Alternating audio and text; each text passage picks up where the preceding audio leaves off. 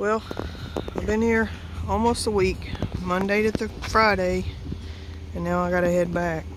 But they got more workers. Got a crew here today. Wonderful people, great connections.